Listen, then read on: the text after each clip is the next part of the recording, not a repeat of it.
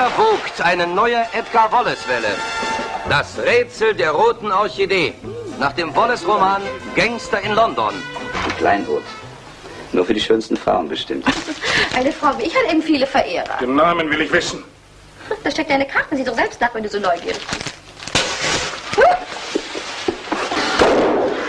Vielleicht überreichen Sie mir eine besonders prachtvolle Orchidee, um ihn umzustimmen. Sie scheinen keine rechte Vorstellung davon zu haben, was es bedeutet, als Orchideensammler unter Kopfjägern zu leben. Bitte nehmen Sie das von mir an. Es ist eine Orchidee aus den Amazonaswäldern. Eine Blume wert von einer Königin getragen zu werden. Ja, danke. Sie können wieder an Ihren Schreibtisch und äh, zu Ihrer Orchidee. Meinen Verehrer haben Sie ja richtig gehen vertrieben. Und gleich bis in den Urwald. Vergessen Sie, was ich Ihnen gerade erzählt habe. Kommen Sie mit mir. Ich habe Geld genug, ein neues Leben zu beginnen. Sie sind da die Frau von Edwin Tanner, dem Orchideenjäger. Also was halten Sie davon, wenn wir beide heiraten? Heiraten? Neben hervorragenden Darstellern wie Christopher Lee, Marisa Mell, Adrian Hoven, Pinkas Braun, Christiane Nielsen, Erik Pohlmann, Chris Rack, Klaus Kinski als der schöne Steve und Eddie Arendt als der Todesbutler Parker. Lassen Sie diese Kinkerlitzchen.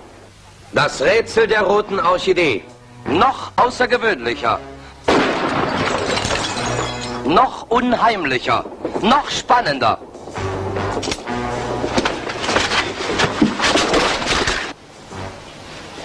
Sie? Warum sollten Sie das für mich tun? Dreimal dürfen Sie raten. Der Puppe passiert nichts. Vornehmer sprechen, Geschnäuzchen. Schnauze. Parker, der Todesbutler, wenn Sie gestatten. Ah, Sie sind der Butler, der seiner Herrschaft einen schnellen, gewaltsamen Tod garantiert.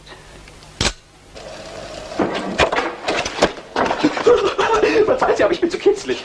Was wollen Sie? Ich wollte mich um den Posten eines Butlers bewerben. Ein Toter packt die Koffer. Äh, Was willst du damit sagen? Es ist unmöglich, von Edgar Wallace nicht gefesselt zu sein. Ein neuer Beweis dafür, das Rätsel der roten Orchidee.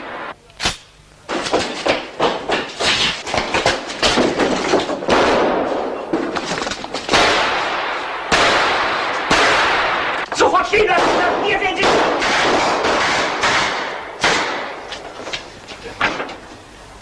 Gangster!